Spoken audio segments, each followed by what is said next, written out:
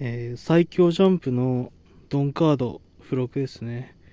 の傷がちょっと多すぎるという手について解説したいと思うんですけど、これがまあ新品なんですけど、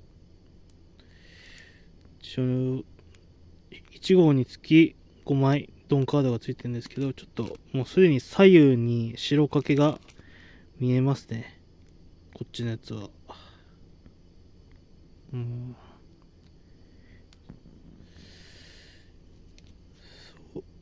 そうですね。こっちも左右に白掛けありますね。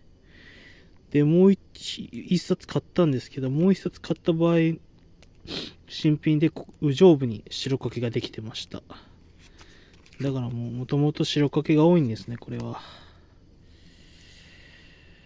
うん。たまに付録付きのを買うんですけど、結構ドンカードは多めという印象ですね。白掛け、ビキズみたいな。表面も綺麗ですけどね。